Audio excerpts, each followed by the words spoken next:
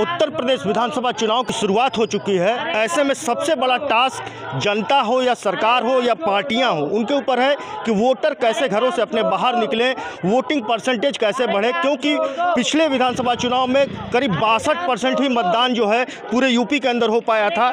आखिर ये क्यों जागरूकता रैली निकाली गई है? सर, सबसे पहले ये जानना चाहिए ये किस चीज़ को लेकर रैली निकाली गई है सर, आगामी जो चुनाव होने वाले हैं, इसमें सातवें चरण का चुनाव काशी में होने हैं। हम लोगों की इच्छा है काशीवासियों की इच्छा है कि यहाँ शत प्रतिशत मतदान मतदान हो। उसमें स्कूल भी आगे बढ़ चढ़ कर हिस्सा ले रहा है ताकि काशी की गरिमा को बनाया जा सके। बिल्कुल जिस तरीके से यहाँ जो टीचर्स हैं उनका कहना है कि शत प्रतिशत मतदान को लेकर के बच्चों के द्वारा जागरूकता रैली निकाली गई है क्योंकि जिस दिन वोटिंग रहता है उस दिन काफ़ी गार्जियंस अपने घर में बैठ करके हॉलीडे मनाते हैं। क्या लगता है कि उनको कैसे बाहर लेकर के आना चाहिए? बच्चे भी जाकर उनको बताएँ कि सब लोगों को बूथ पर जाना है। और वोट देना है हंड्रेड परसेंट। बिल्कुल। अ, कुछ लोग और हैं उनसे बात करते हैं। मैडम किस तरीके से ये कैंपेनिंग किया जा रहा है? क्या है इसके पीछे का मकसद? इसके पीछे का मकसद सर ये है कि बच्चों को बच्चों के थ्रू गार्जियंस को बताया जाए लोगों को बताया जाए कि किस तरह से अपने राइट का यूटिलाइजेशन होना चाहिए। बिल्कुल।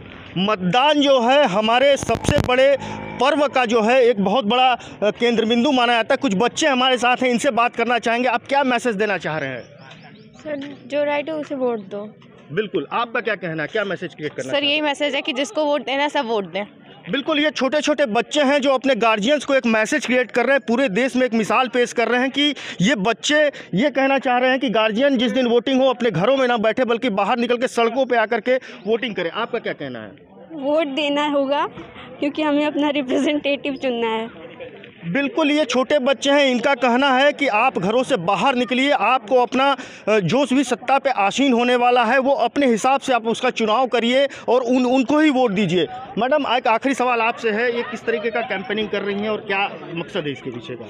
देखिए हमारा मकसद ये है कि हम जो भी अधिकार लें वो बिल्कुल स्वच्छ और सही तरीके से लिया जाए। इसलिए हमारे बच्चे और हमारे साथ जो भी कलीग्स हैं इस बात के लिए हम लोग आगे बढ़ रहे हैं ताकि जो भी डिसीज़न लिया बिल्कुल करेक्ट लिया जाए।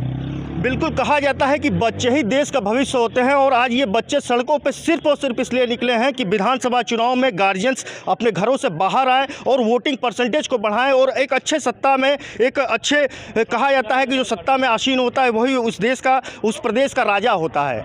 लोकतंत्र की मजबूती का सबसे बड़ा आधार देश के नागरिकों के मतदान का अधिकार है।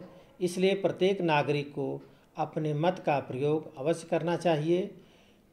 लोकतंत्र के इस विशाल पर्व विधानसभा चुनाव में मैं काशी की जनता से अपील करना चाहता हूँ कि आप शत प्रतिशत मतदान सुनिश्चित करें ताकि देश में काशी का मान सम्मान गौरव बढ़े। प्रभा साक्षी के लिए अमित मुखर्जी वाराणसी से। अगर आप भी लेना चाहते हैं देश दुनिया की तमाम जानकारी तो आज ही सब्सक्राइब करें हमारे चैनल को।